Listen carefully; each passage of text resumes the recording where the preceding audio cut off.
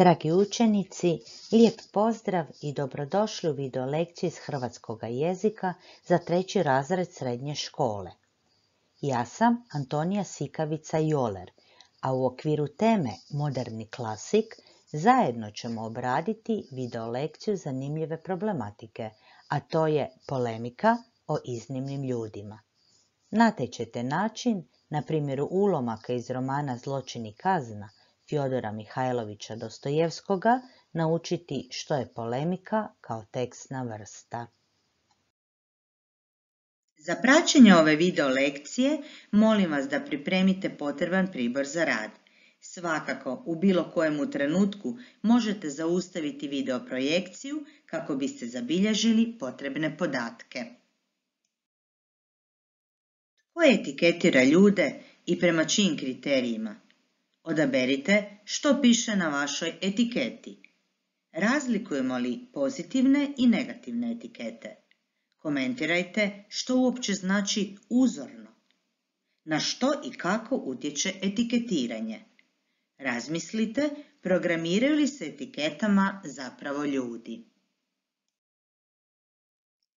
Pred vama su smjernice za usporednu analizu ulomaka iz romana Zločin i kazna Fjodora Mihajlovića Dostojevskoga. Pozorno pročitajte ulomke i na temelju teksta procijenite. O kojemu pitanju raspravljaju Raskolnikov i Porfiri Petrović? Izdvojite idejne konfrontacije i filozofske ideje koje iznose likovi. Nastavite s čitanjem ulomka prema smjernicama. Istražite osnovne situacije u kojima likovi raspravljaju o Raskolnikovljevoj ideji prava na zločin. Oprimjerite citatima iz teksta dokaze koji potvrđuju da likovi kao supolemičari ratuju riječima. Nakon pročitanih ulomaka iz romana Zločin i kazna, usporedimo sada svoje komentare. Sigurno ste u Raskolnikovljevu članku uočili tezu da svi se ljudi nekako dijele na obične i neobične. Policijski istražitelj Porfiri Petrović aludira da na svijetu ima i takvih ljudi koji mogu, to jest nije da mogu, nego imaju potpuno pravo da vrše svakakve opačine i za njih nije zakon pisan. Na što Raskolnikov replicira da neobični čovjek ima pravo, to jest nema oficijalno pravo, nego samo ima pravo dopustiti svoje savjesti da prekorači neke zapreke. Porfiri Petrović ironično iznosi da čin zločina uvijek prati bolest. Jako, jako originalno. I u njegove sljedećoj primjedbi jasno se osjeća također podrugljiv ton. Mene nije zanimao baš taj dio vašeg člančića. Međutim, Raskolnikov se osmijehnu tom namjernom i namještenom iskrivljavanju njegove ideje, te mu cinično replicira. Vi izvolje ste reći da je moj članak nejasan. Ja ću vam ga objasniti koliko mogu. Možda se i ne varam što mislim da vi to valjda i želite.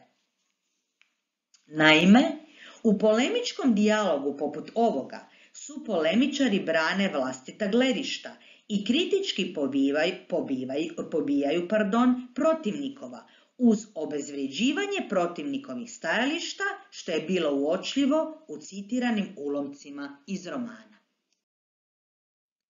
Borba i oštrina, suvremenost, humor i sarkazam, sve to polemike čini zanimljivima. Polemizirati se načelno može o mnogo čemu. O pitanjima kulture, književnosti, zabave, obrazovanja, ekologije, sporta, o aktualnoj politici, o znanstvenim pitanjima, ali i o značenju i važnosti pojedinih povijesnih događaja ili pak o kvaliteti televizijskog programa, pa da kako i što više, o određenim pojavama u društvenom životu, o moralu i društvenim vrijednostima kao u slučaju Dostojevskoga. Ukratko, sve o čemu se može komunicirati, a što pretpostavlja ili barem omogućava zauzimanje više ili manje jasnih osobnih stavova, može biti dobra tema i dobar povod za polemiku, ali i za javno prezentiranje i promoviranje samoga sebe. Naime, polemika ima naglašenu društvenu ulogu.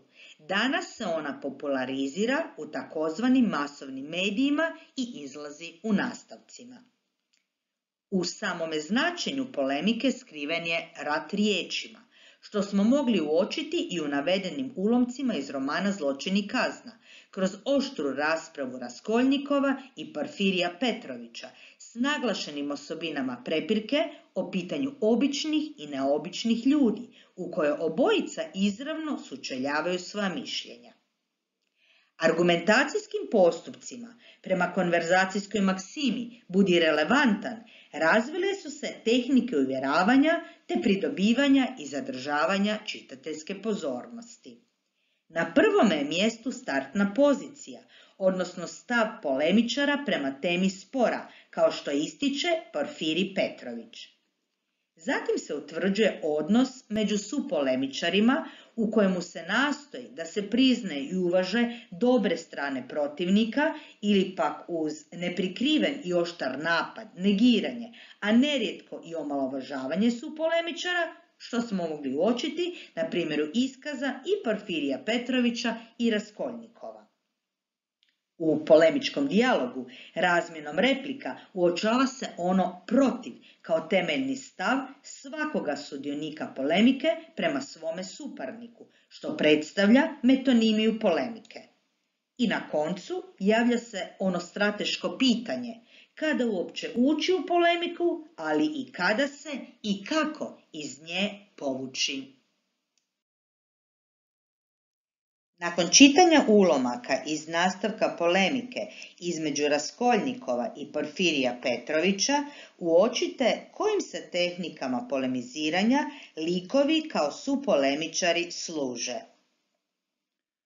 Na Raskoljnikov mu razloži svoju stvar kratko i jezgrovito, jasno i točno, te je tako bio zadovoljan sam sobom da je čak uspio prilično dobro promotriti i Porfirija. Porfirij Petrović nije također za sve to vrijeme skidao s njega očiju.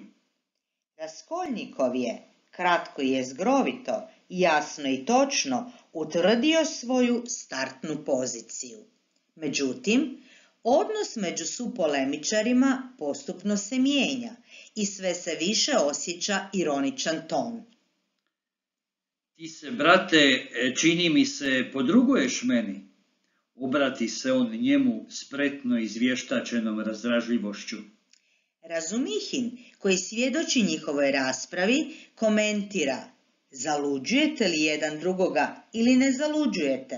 Sjede i jedan se drugom podruguje.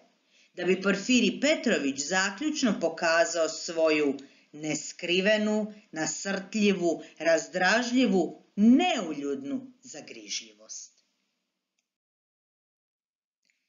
Pozorno pročitajte citirane ulomke iz romana te proučite četiri glavna područja faze argumentacije. Zatim, utemeljeno obrazložite kojim argumentacijskim postupcima likovi kao su polemičari pridobivaju čitateljsku pozornost. Sudovi o prirodi stvari pripadaju području definicija koje određuju što je što. Sudovi o kauzalnosti određuju uzročno-posljedične veze, odnosno odgovaraju na pitanje zašto je što. Vrijednostni sudovi definiraju kakvo je što, a posljednji dijalog predstavlja odlučivanje za budućnost. Vi, dakle, ipak vjerujete u Novi Jeruzalem? Vjerujem, odgovori Raskolnikov čvrsto. A dok je govorio i to i svu svoju dugu tiradu, gledao i u zemlju, u jednu točku, koju je odabrao na sagu. I u Boga vjerujete? Oprostite što sam tako radoznao. Vjerujem, ponovi Raskolnikov, dižući oči na Porfirija. I u uskrsnuće Lazarevo vjerujete? Vjerujem. Što će vam sve to? Doslovce vjerujete? Doslovce. Proučite tablicu koja prikazuje ironijske koncepte i na temelju njihovih elemenata izdvojite likove iz romana Zločin i kazna koji ih najbolje prikazuju. Također pronađite i citate koji potvrđuju vašu prosudbu. Takozvana sokratska ironija policijskog istražitelja Porfirija Petrovića najbolje prikazuje njegovu strast traganja za istinom, odnosno ona ima svrhu pronalaska ubojice. Ironija situacije prikazuje život u koji je uključen i preokret, kao što nam svjedoči sudbina Rodiona Romanovića Raskoljnikova. On je raskoljena uma, što simbolizira njegovo prezime, ubojica koja postaje žrtvom. Verbalna ironija Dmitrija Razumihina pokreće naraciju, a on je ujedno i glas razuma u romanu, što također simbolizira i njegovo prezime. Romantična ironija uz odsutnost idealnog stanja utjelovljena je u liku Sonje Marmeladove. Ona je paradoksalno i prostitutka i svetica s kritičkim stavom spram stvarnosti. U teorijskom smislu polemike možemo odrediti kao problemske, zatim one u diskurzivnom prostoru kritike i parodijske polemike. Problemska polemika jest ona koja jednome mišljenju suprotstavlja drugčije, sa svrhom da snažno i upečatljivo upozori na neprihvatljivost protivnikova stava, kao što se uočava u replici Porfirija Petrovića. Na Raskolnikovljeve teze, čime efektni argumenti često postaju karikirani i predimenzionirani. Obratite pritom pozornost i na akademsku kurtoaziju, odnosno uljudan način ophođenja uz poštovanje forme u međusobnome ophođenju.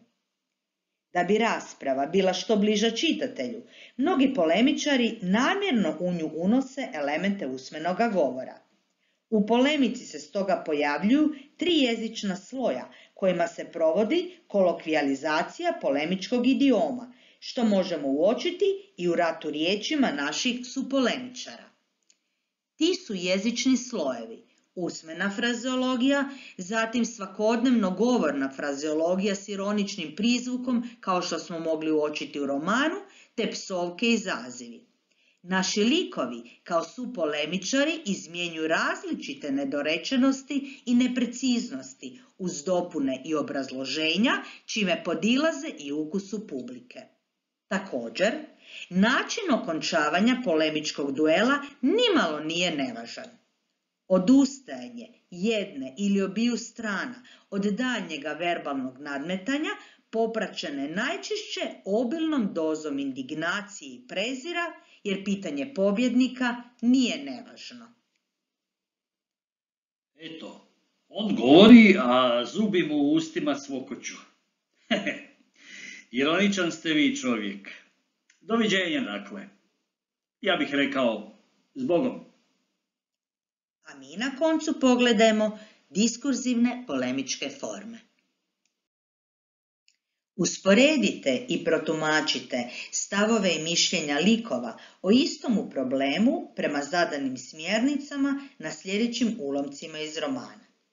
Objasnite moralne i intelektualne dvojbe koje uočavate u polemici između Porfirija Petrovića i Raskoljnikova. Smatrate li neku njihovu tvrdnju neutemeljenom? Zatim nastavite s čitanjem sljedećega ulomka prema navedenim smjernicama za analizu romana. Utemeljeno obrazložite kako Porfiri Petrović zatvara psihološki obruč oko Raskoljnikova na koji je način okončan njihov polemički duel. Argumentirajte sudove koje donose likovi na kraju polemike. Svu ćemo tu psihologiju uništiti sasvim. Sve sumnje na vas ću prevrnuti ni u što. Tako da će se vaš zločin prikazati nekim ludilom, jer po savjesti ludilo to i jest. Ako bi vas slučajno, no tako, za svaki slučaj, snašla volja da za tih četrdesetak, pedesetak sati završite stvar kako god drugačije, na neki fantastični način, da ruke dignete na sebe, nesklapna misao, ali oprostite mi. Onda ostavite kratku, ali pojasnu bilješku. Um sadašnjosti donije odluke čije će se ostvarenje dogoditi u budućnosti. Ja sam pošten čovjek, rodijom ne Romaniću, i održat ću riječ. Individualni vrijednostni sud o sebi. Nemojte Porfiriju Petroviću zabiti sebi u glavu, izgovori Raskoljnikov prijanjajući surovu, da sam ja vama danas nešto priznao. Vi ste čudan čovjek. Ja sam vas slušao jedino iz radoznavosti, a priznao vam nisam ništa. Sve su pojave samo posljedice svojih uzroka. Kraj polemike razriješava pitanje ubojice. Što vi, što, tko je ubojica? Promrmlja Raskoljnikov da se je jedva i čuo. Ti si ubojica, izgovori onaj još razgovjetnije, oštrije i kao sa smješkom mrskog slavlja, te opet pogleda Raskoljnikova ravno u blijedo lice i u zamrzle oči. Komentirajte na temelju citata iz romana. Utemeljeno obrazložite da je Dostojevski uspješno portretirao likove Raskoljnikova i Porfirija Petrovića s obzirom na način kojim je okončao njihovu polemiku. Protumačite pitanje krivnje i simboliku kazne. Kao sintezu gradiva sastavite skupinu od 4 do 7 učenika. Svi imate isti ulomak iz romana Zločin i kazna, te se izmjenjujete u ulozi nastavnika rješavajući pet zadataka što predstavlja recipročno poučavanje. Nakon aktivnoga i istraživačkoga čitanja romana Zločin i kazna, u tablici za samovrednovanje obilježite važne ili nerazumljive ideje vezane uz pojedine likove iz romana koje vas mogu motivirati za dalje čitanje dijela Fjodora Mihajlovića Dostojevskog. A sada možete odabrati i jedan od ponuđenih zadataka za samostalan rad. Istražite forma debate kao i upute na poveznici Hrvatskog debatnog društva, a QR kod nalazi se vama s desna. Odaberite afirmacijsku ili negacijsku stranu teze. Raskolnikovljeve altruističke pobude i samaritanski postupci odrasu grizodušja. Želite li napisati interpretacijski školski esej, pred vama se nalazi ulomak iz romana Zločin i kazna, a zatim i smjernice za pisanje eseja. Dakle, pred vama su zadane smjernice za pisanje školskog eseja. Bilo je ovo sve za naše današnje druženje. Hvala vam na pozornosti i doviđenja.